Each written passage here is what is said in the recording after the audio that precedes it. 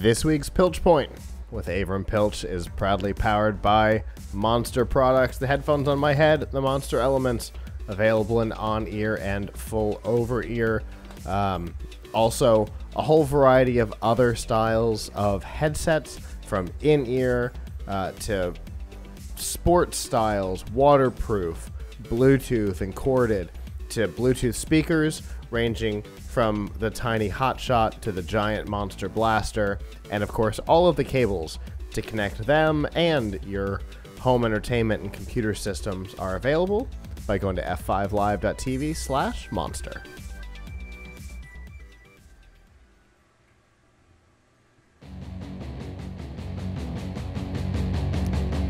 And that music means that it is time for the Piltch Point with online editorial director of Laptop Magazine and Tom's Guide, Avram Piltch. Avram, you're back. Yes, I'm excited. It's so good to have you back. It's good to be back, but it was good to be there. Yes. Computex was awesome this year. I love going to Computex Taipei. It's my favorite tech show of the year because I love going to Taiwan and because it's just always a really exciting PC show, particularly to be in the place where so much of the PC, so much of the PC industry uh, is located, and so much. I wouldn't say so much manufacturing takes place because that's really in mainland China, but so much of the development takes place. So, uh, you know, obviously a big show for the major Taiwanese manufacturers like MSI and Asus, um, and Gigabyte and Acer were there too. Um, but uh, also just a big show for new technologies. We always see lots of products. This show was very much a laptop show. There was a lot of laptop new laptops introduced, and there were a lot of and there were a couple of really really important new laptop technologies introduced. So one of them, uh, one of them, one of them was um, the new, and I'm the most excited about this was new the new Windows on ARM initiative. Uh huh. Um, so Qualcomm for the first, well, should I say for the first time? Yeah, for the first time with Windows 10, Qualcomm, uh, which makes the Snapdragon chips, and Microsoft announced that they are working together to, to come out with something called the Always Connected PC, uh, and it is going to run full Windows 10, running every Windows 10 app, Win32 apps, uh, etc., on a Snapdragon 835 chip. Uh, and these new generation of laptops are going to have uh, a really strong connected standby, long battery life. They're going to be really thin and light because Snapdragon is like a third. The motherboard is like a third the size of an Intel uh, motherboard. But um, you know, we're going to start seeing those toward the end of the year, and it's going to be fascinating to see how is the performance going to be, how is the battery life going to be. Is this going to be another you know, Windows RT type of situation? Well, the answer is probably no because it can run all the apps. Right. Um, although apparently I, I read I can't read, uh, do 64-bit Win32 apps. Um, Well, anything, any uh, manufacturer or developer who's publishing uh, something in not any configuration mode would be insane. yeah. So it's you know we'll it'll it remains to be seen how this is going to w- work out, but it's fascinating. We're going to get a whole new type of laptop to review, so that's going to be exciting to see.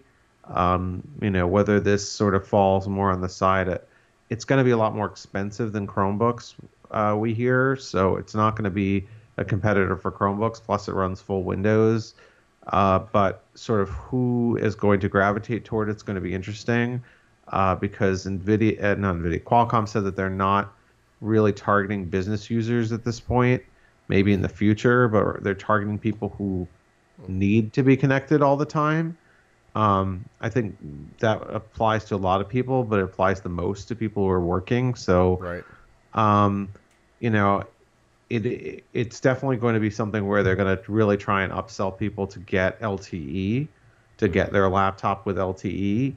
Um, but I think the bigger question is how is having it on Snapdragon going to affect things like battery life and performance, and how is this always connected? Um, how is this you know constant connectivity going to work? We know right now that there is um, you know, there's supposed to be some level of um, you know, connected. Uh, what do you call it when you're connected while asleep? Um, is supposed to be built into Windows now to an extent, but it doesn't really. I've never had that work. I've never had it where you put your computer to sleep and then you wake up and your email is like been completely Outlook still been downloading while while it was asleep. Right. Like like that doesn't happen. So I guess the question is, are they going to make that any more um, functional uh, with these new chips, or are they just going to do more of the same? Because obviously, I think the holy grail is you're uploading a video. I mean, you must have had this experience a million times. You're uploading a video on your laptop. You go to get into a cab or something. You got you close your computer to go to sleep. You put it in your bag. Well, your video will just stops and won't uh-huh. keep uploading, and probably won't even resume uploading from where it was. Yeah. So, like, how do you how does it manage big uploads and downloads and things like that? Can yeah. it can it do that while while it's quote unquote asleep like your phone can? Right. Um, that's what you know. That's what I'd like to see. So, well, um, you know, considering, uh, considering Windows 10 has has the Windows OneCore, uh, it's always possible that the the behavior would be have some sort of like hybrid capability between what we know as traditional Windows 10 and then what we know here on the laptop that I'm using, which is Windows 10 and Continuum. You know, a phone behavior running the same core as regular Windows 10, there's always the possibility that uh, that somewhere in there there could be a middle ground specifically for ARM. Yeah, I mean, I'd, I'd really like to, to see that because I mean, one of the things Qualcomm was touting was you, people want their laptop to behave more like their phone, wake up from sleep quickly, continue to download and upload things while it's asleep, um, you know, have really long standby times. Um, honestly, I don't think standby times on laptops are that much of a weakness right now. You, you know, even on my laptop, I'm getting days and days of standby with very little um, battery drainage. So I think the real question is, what can it do when it's in standby? Right. Um, so that's obviously yeah, what, very exciting. Like, what what does standby mean on these new machines? We know what it means today, and it's not yeah. ideal. Will we will we see a different behavior on standby? Yeah, like, like inter- what Qualcomm is talking about. Yeah, we interviewed a Microsoft exec who said this is just going to take better advantage of connected standby, like for better battery life. So I'm not really sure if we're going to get added functionality. I hope that we will. The other really big technology that was announced is NVIDIA Max-Q. Uh, and that is an initiative to make uh, laptops with discrete video cards, with high-end discrete video cards like NVIDIA GTX 1080, which is the highest, you know, 1080 and 1080 Ti, mm-hmm. uh, to make the them thinner and lighter and quieter. Um, so we saw a number of like about five new laptops that came out that use Max-Q, uh, to, you know, Max-Q design standards. It's really design standard more than a technology, you know, more than a new technology. It's an initiative, sort of like Intel's UltraBook initiative to make right. laptops thinner and lighter. Well, to make gaming laptops thinner and lighter. Uh, and we saw now, obviously, there's somewhat of a performance trade-off. They end up, I think, throttling the GPU a bit to get there. Um, but we saw some really impressive laptops based on it, like the Asus ROG Zephyrus. Yes. An absolutely beautiful laptop, which we named our best overall laptop of Computex. Uh, absolutely just beautiful looking, thin, just crazy looking keyboard, uh, beautiful laptop. Um, so those were two really, really major technologies that rolled out. Um, uh, obviously, a lot of other things we saw evolving. Um, just more really thin and light uh, systems that were really nice and cheap, like um, you know, unbelievable Acer's Spin One, uh, two and one. This is what you get for three hundred twenty nine dollars. You get a 1080p IPS display on a metal chassis. Wow. For three hundred twenty nine dollars. I mean, it's a Pentium. Okay, you know, okay. it's not it's not it's not high performance, but you're getting an IPS panel and it looked really good. You know, uh, similarly, Asus has their VivoBook 15s, which is a 15 inch notebook that weighs I think 3.2 pounds for 15 inches. Wow. And it's 4.99. So you know, pre- that's previously getting up into like Dell XPS 15 territory, and it's lighter than the Dell XPS 15, which is 999. So, you know, things are getting lighter, they're getting smaller, they're getting more powerful. Um, that seems to happen every year, but we definitely saw some really big leaps forward there. Um, but yeah, what's I was really gonna say that that doesn't sound iterative. That sounds like like a leap. I mean, the ZenBook Flip uh, Flip S is another one where it's the lightest, it's the thinnest two in one at uh, 0.42 inches thick. Um, you know, super duper thin. Um, two in one. Now, at a certain point, it's diminishing returns. Like, do you really need it that thin? Um, but it's, you know, it's certainly they're pushing the envelope. Asus had a fantastic show. They introduced a lot of stuff. MSI uh, blew our minds with their GT75 uh, Titan, which has 12 up to 12 different heat uh, different heat pipes to keep it cool, so that it can give you maximum performance when you have your 1080 in SLI uh, with it. So these things just are, are pushing and pushing the envelope in terms of both performance and um, you know thin and light. Well, not the Titan, that's pretty thick, but you know, you you we're pushing the performance on both ends. It's it's pretty impressive to see. Uh, and we're, the the good couple of trends that we're seeing are more laptops that are trying to hit a color mark rather than just be a certain resolution. Like we're seeing more companies talk about and color gamut and uh, IPS and and wider color range, so you're not just getting dull colors. Uh, and uh, I we saw a couple more companies uh, trying to go into the graphics amp space, uh, which is a very welcome thing because we could use more uh, competition and innovation and people making external graphics. You know, allowing you to to live the the mobile dream of having like a super thin laptop, and then you come to your desk, you take your Thunderbolt three connection, you connect it to a graphics amp where you're running like the you know high-end graphics card like an NVIDIA 1080, and uh, you know you can do VR and you can do whatever you want.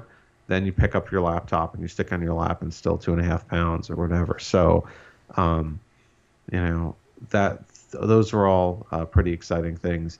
Did you hear anything from Computex that you really thought was uh, interesting? Um, so obviously we've talked in the past. We've made sure to define interesting. Okay. interesting. It doesn't necessarily mean good. Right. Interesting. There's the uh, I can't think of the the name of it. Uh, it was it was described as a robotic selfie computer.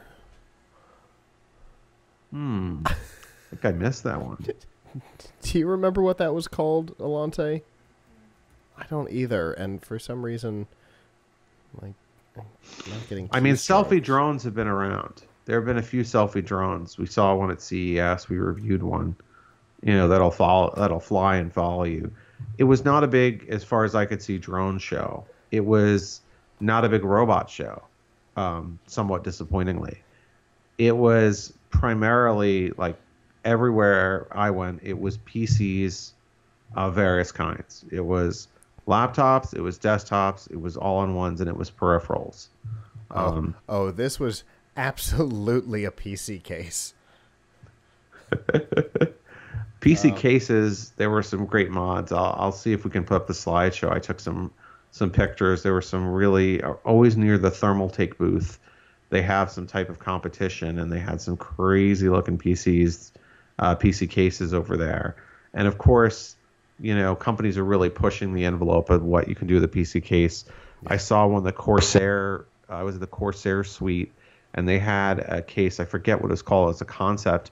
It was like easily like three and a half, four feet tall. It weighed like, well, they hadn't. Weigh, I don't think they weighed it without stuff, and it was at least 150 pounds, Whew. and it had room in it for something like 34 case fans and two discrete computers.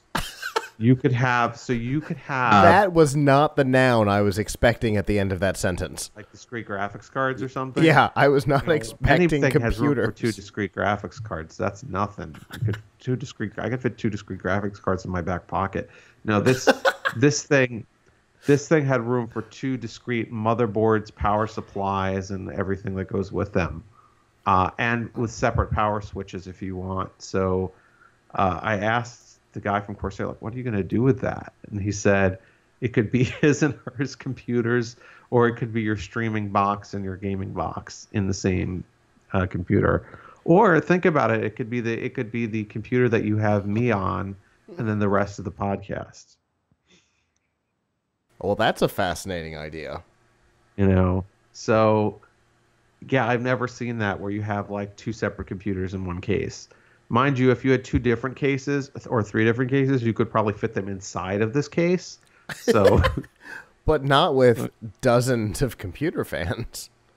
Yeah, I mean it's it's it's crazy the extent that people will go. You kind of after a certain point of this modding that people are doing, it's like, do you even need to use a computer or just just look at it? Like, let's just look at it because the amount of effort that went into making it is probably more significant than the amount of effort you'll go into actually playing the playing the high end game or, or whatever you want to do with it. But man, some of these things are real works of art.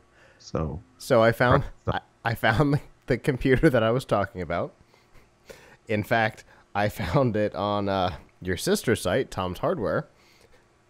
Um, the company is called InWin.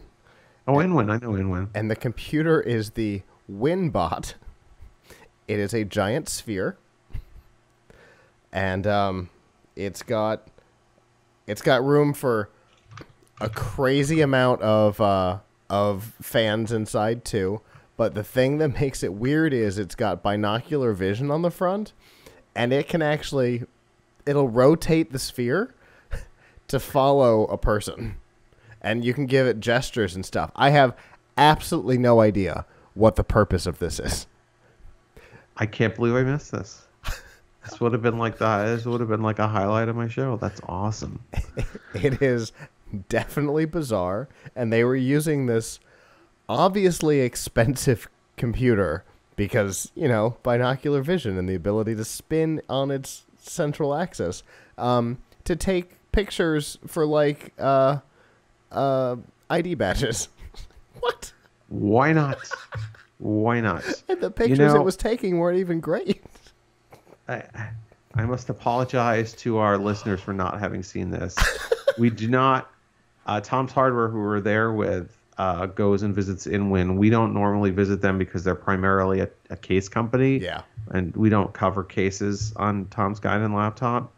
So I didn't. Ex- but if I knew that there would have been a robotic selfie case there, I would have absolutely. I would have been there the first day.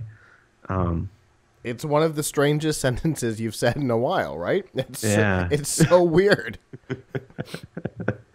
they they they for for those uh, for those listening and or watching, uh, Tom's Hardware has some some great pictures and a video on their website of the WinBot. So you will definitely want to go check that out because it's it's bizarre.